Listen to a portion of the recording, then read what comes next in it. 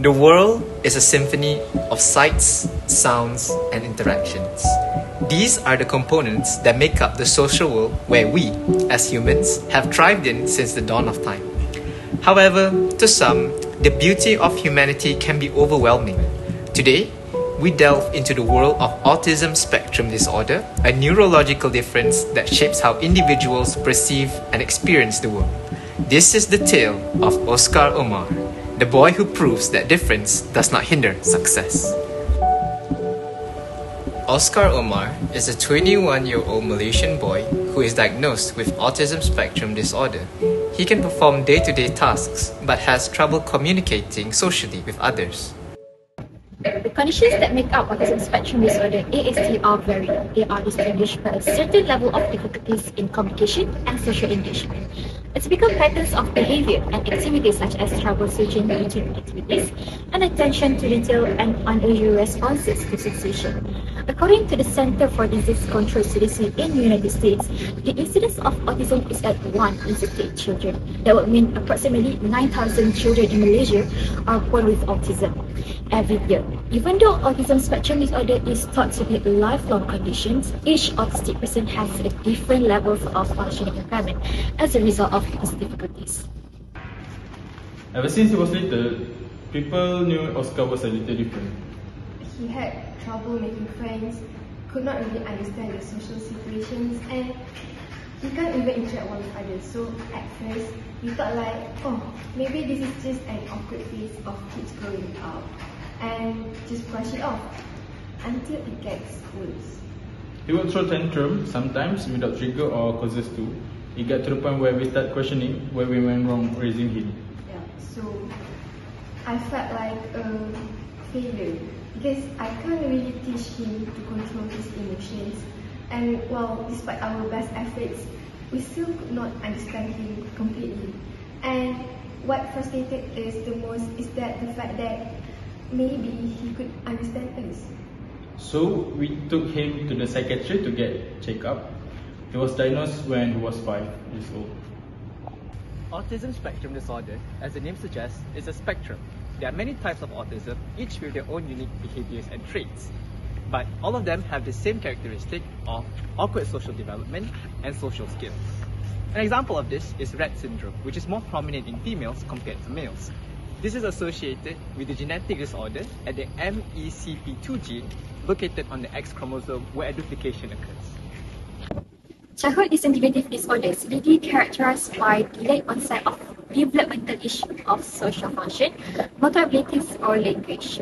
There is also Kanner syndrome where children are smart, attentive, uh, attractive, alert, and clever, but with emotional difficulties. There is also pervasive developmental disorder not otherwise specified.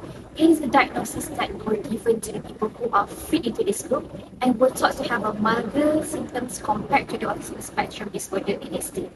It is a mild type of autism that present a range of symptoms. But for Oscar's case, we believe that he has Asperger's syndrome, which is a level 1 autism spectrum disorder according to DSM-5. Teens with Asperger's syndrome can have academic success and have social interaction, but they may struggle with communication. They have repeated rigid thoughts and behavior patterns.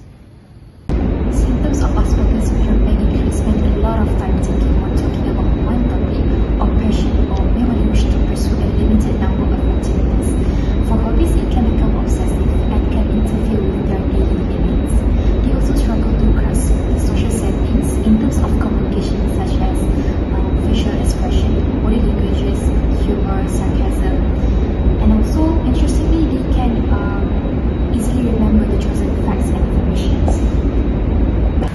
Always passionate about random stuff, often bringing love up in the most random situation, especially about basketball.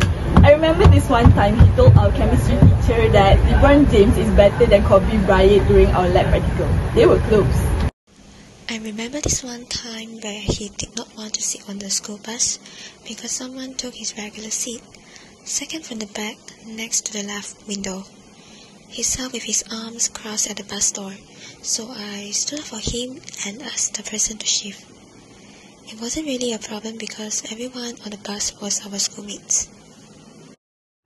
Other signs and symptoms include becoming irritated by even little variations in their routine, difficulty controlling emotions, which can lead to verbal or behavioral outbursts, and as well as tantrums, which can lead to self injurious actions. I never had a history or family member with ASD and have always thought it was a hereditary disease until we know about Oscar's case. And to my understanding, this condition is one that can happen without any known causes or links. So that's why we never blame each other, not even in studies. And I am thankful for a partner so patient and understanding.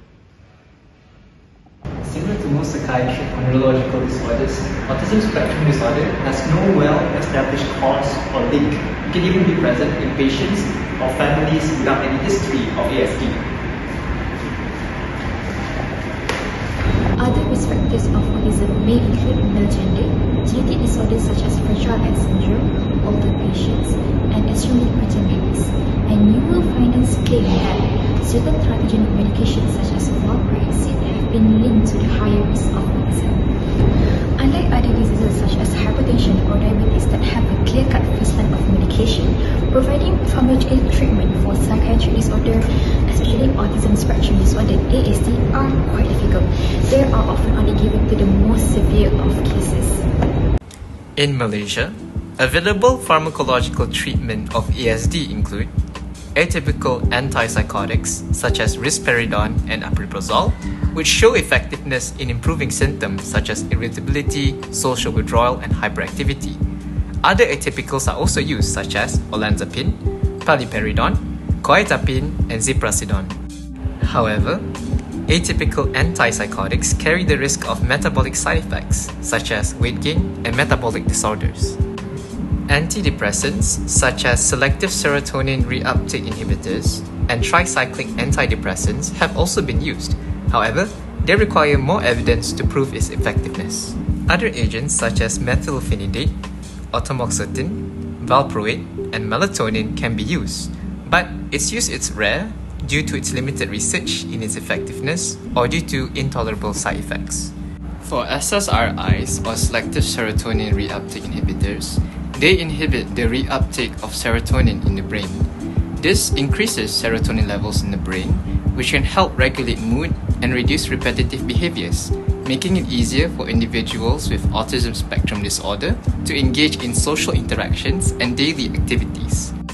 Tricyclic antidepressants primarily regulate the levels of neurotransmitters such as serotonin and norepinephrine in the brain. By inhibiting the reuptake of these neurotransmitters, TCAs increase their availability in the synaptic cleft, which leads to enhanced neurotransmission. This mechanism is believed to contribute to the therapeutic effects of TCAs in managing certain conditions such as depression, anxiety, as well as certain symptoms associated with autism spectrum disorder. It is to be noted that the pharmacological treatment of autism spectrum disorder does not treat the disease itself, but rather manages the symptoms. The key in managing autism spectrum disorder are in the non-pharmacological treatment, especially behavioral therapy. Four. Oscar has never taken any medication before. Despite that, he has shown great improvement socially while growing up. I think we can most thank all the behavioral therapy we sent him ever since he was diagnosed. Um, so far, we have tried so many places and therapies, some with good and even bad experience. But I think one that really helped Oscar is the one that is called Applied Behavioral Analysis, which is like a kindergarten catered towards children like Oscar. He responds very well and applies the concept taught there at home. The person center we sent him told me that something about levels. Levels? Loba. Ah yes, the Lobas method, which is like well-known superior method to approaching teaching in children with ASD. We were very much involved during this teaching session as they said family members are very important in precipitation, making the child more comfortable. The Lovaas method is an applied behavioral analysis method that focuses on improving communication and behavior of ASD children. Among the principles of the Lovaas method include behavioral emphasis, family participation, one to one instruction, integration, comprehensiveness, and intensity. Other behavioral and social therapies available in Malaysia for the treatment of ASD include naturalistic approaches, such as responsive education and pre-linguistic milieu teaching, RPMT, which facilitates intentional communication during the pre-linguistic period in children with development delay, and reciprocal imitation training, RIT, which is an imitation intervention developed for young children with ASD. So we try to foster the same healthy environment for him at home. For example, like catering for his specific wants and behavior. Because after all, he is still our baby boy. And I think it should come to no surprise that having a very healthy environment where they can be themselves and practice their social skills plays an important role. So I would also like to thank all of his friends for being so understanding and kind to him. Oscar is a great friend. He's fun to be around and always lightens up the mood. He helps when he can and wants to enjoy life. Oscar is the same as all of us, having his own opinions, feelings, hopes, and dreams.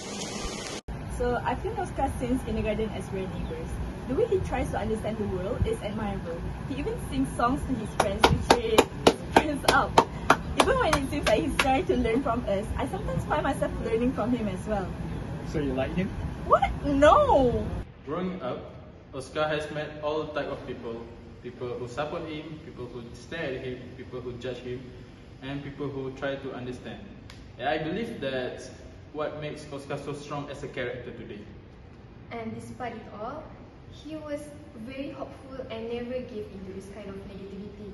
And his teachers also played a very crucial role because they would try their best to understand his needs. Because when you look past his social abilities, he is actually just as competent and smart as all of us. Maybe smarter. Right now, I believe that Malaysian society is in a transition phase because more people are acknowledging and understanding psychiatric disorders even among those people who are from non-health backgrounds. I think society plays an important role in making children like Oscar feel comfortable and have a sense of belonging in society. They are no different than us, we are too human. I admit he sometimes confuses me, but he's doing his best, you know. Yeah, I admit that sometimes we do argue over all these small things, but all friends do, right? Yeah, at heart, Oscar is as similar and normal to everyone else.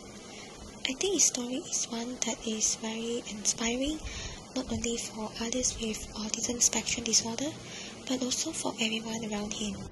So lastly, is there anything you'd like to say to society regarding ASD?